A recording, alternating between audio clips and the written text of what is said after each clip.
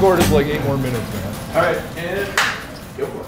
All right, well, welcome to Free Beer Friday After Dark. Working title. Maybe we should kind of riff that a little more. Chris, what do you think? Ah, we'll let the audience decide. What do they like? But uh, this is so much more comfortable. We're Yeah. not standing here under the bright lights, like all intimidated. The idea of this is we're comfortable.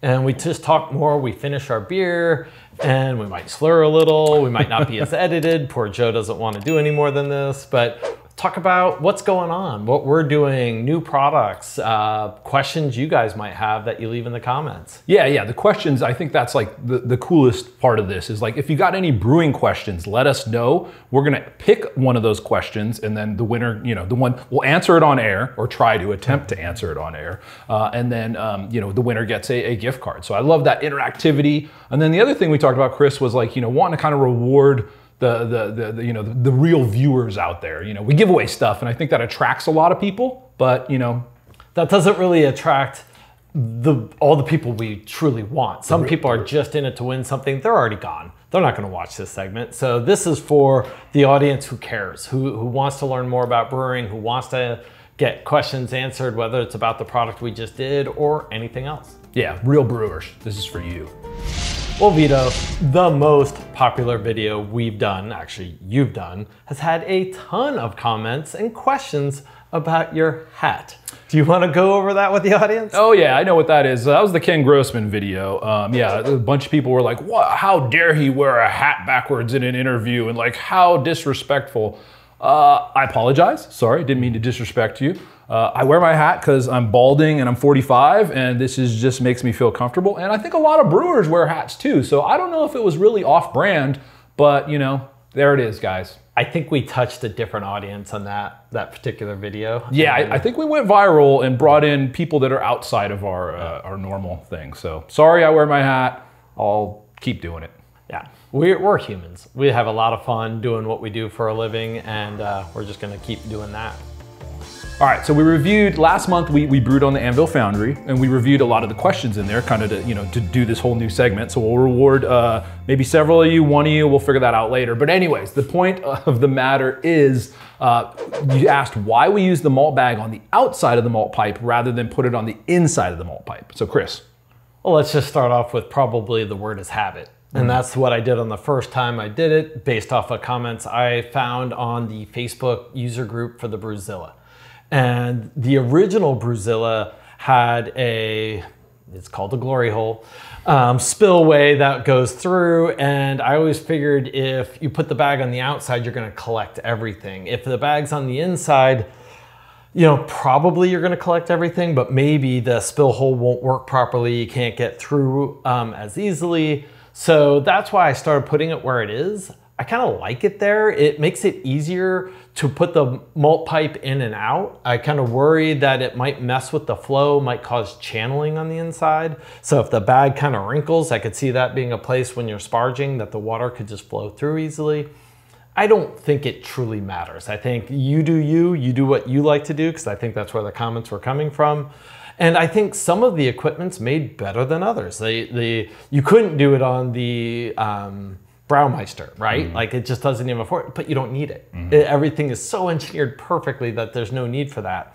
And what we found on the Anvil was we probably didn't need it compared to some of the other systems where maybe everything doesn't fit quite perfectly made it up where the false bottom hits the basket and such. Uh, great answer. I think that answers questions. Let us know if you guys have any further questions on that. And this is why we call it after hours or after dark, because he said glory hole. I thought we weren't getting risque with this. I was sitting on that and I'm like, I got this one. Yeah. the beer we're drinking is the Younger, which is pretty special beer. So Vito, why don't you tell us about how you got it this year? So this year, uh, my friends, you know, we, we, we usually we've done it a lot in the past. You know, with COVID, we stopped doing it, but then we brought it back when they they brought it back last year, and you actually had the lines and all that jazz again. I was constantly like, I'm over it. I'm never waiting in line. But then they call me up, and it's always a freaking good time. So, anyways, long story short, same group hit me up. We're gonna do it again this year, uh, but we had we did something a little different. So we waited in line. We went to Windsor, which is my favorite location because they got. I mean, both places have great food, but the Windsor's just, you know, like it's just a full on restaurant. Um, um, the other one's more of a kind of pizza place if you've been down to the 4th Street one. Anyways, long story short, there's something special here. They're retiring the old system at the 4th Street location.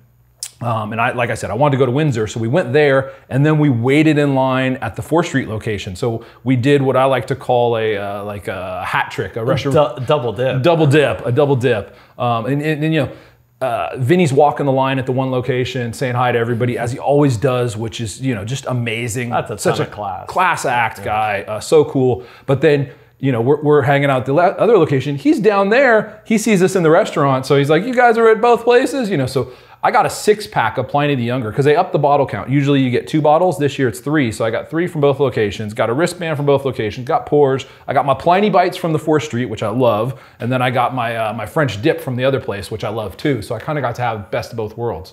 That's pretty awesome. I, you know, to be honest, I've never actually made the journey for the day. I was part of the. I'm a tech guy, and I was part of the geeks during COVID, who I did get a I remember case of bottles, um, and I was lucky, and I loved sharing that with all my friends. And I think you got. Some I got a bottle, yeah, thank you. And uh, ton of fun. But that's what this event means. It's special because it's unique and it's limited, but it's also something we share. You shared like an awesome experience with your friends. In fact, my friends who I was they were trying to get me to go with them ran into Vito because he knows Oh, him yeah. from the show. So they send me a selfie of the two of them, which I got FOMO at that point, um, but couldn't make it up that day. But it's sharing good experiences with your friend, and you know, it's like that's what craft beer is about. That's what homebrew is about, and it's like it's it's such a cool experience. the, the the the conversations in the line are pretty fun and there was some crazy ones there was one point where like me and my friends are hanging out one guy you know who's kind of getting to know us just like like stops the conversation. He's like so what do you what's your guys opinion on sasquatch? Uh yeah right? Like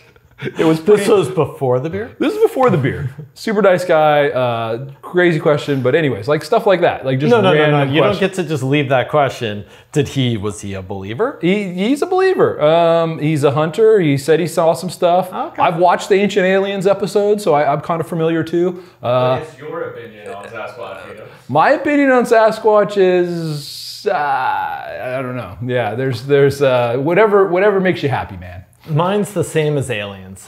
To, Yeah. to think that we're the only ones out here Yeah. who have some sort of intelligence. I don't know that he looks like, you know, what we would think of an ape running through the woods that's super huge, but there are things out there I gotta believe. Um, I think where we landed on it's an alien in a ghillie suit. done. All right, this next segment we're calling Show and Tell. Remember when you were a kid and there was new things you were excited about and you want to tell your friends about? That's what we're doing here. These things might not make a video in and of themselves, but they're cool new products that are in the pipeline or already for sale that we think are worth talking about. Yeah, we have a new products page on our website where you know our product team is bringing it every month. There's you know usually 30, maybe you know 10 to 30 new products that are hitting, and it you know could be anything from a little gasket to some you know X3 things like that. So um, I, we picked our favorite products. I'm going to start with mine. Here's my show and tell. It's the mead making kit from Pop Cultures. So um, why I like this is I like mead, um, and then I also helped uh, Pop Cultures and a friend of mine, Pavel, who is an amazing award-winning mead maker, helped me help Pop Cultures design this kit specifically around the recipe. So it's a really good recipe. Mead's amazing. What I like, it's one gallon. You know, five gallons of mead's kind of a lot. I think Pavel would disagree, but he'd be like, five gallons is perfect. He's Russian, so that's his accent. Sorry, guys.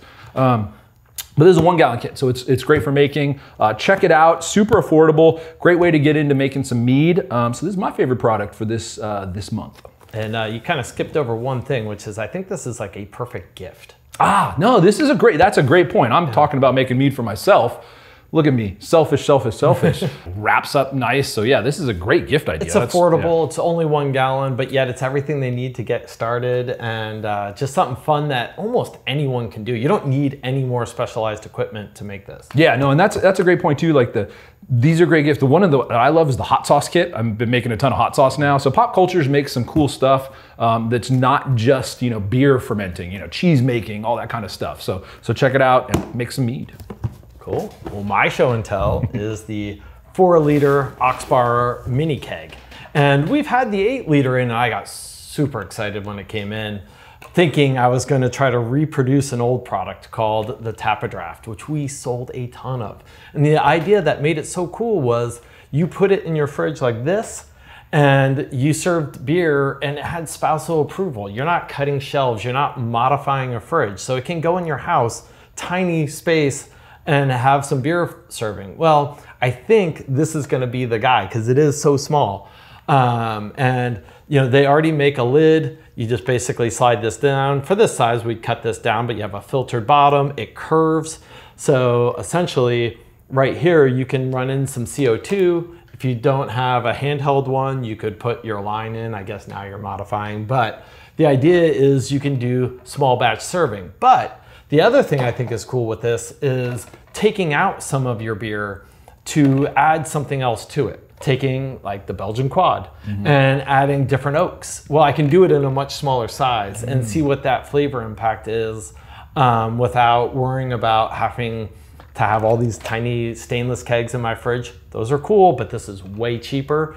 And the PET way that this is made isn't like, oh my God, your beer is gonna last three days in here and oxidize. No, you should get several months depending on how hoppy it is and whatnot, but at minimum, three to four months without much oxygen ingress. And it's pretty lightweight too. So like we talked about traveling, so backpacking, right? That's where yeah. I'm going with this. Yeah. Pop it in and and uh, have beer all day. And it's safe, you know poolside, whatnot. Oh, you don't yeah. have to worry about glass. So we're missing out on probably both of our favorite new product. That's because we just talked about it, but that's the X3 here. I mean, pretty amazing. They took something that I thought was unimprovable and they improved it.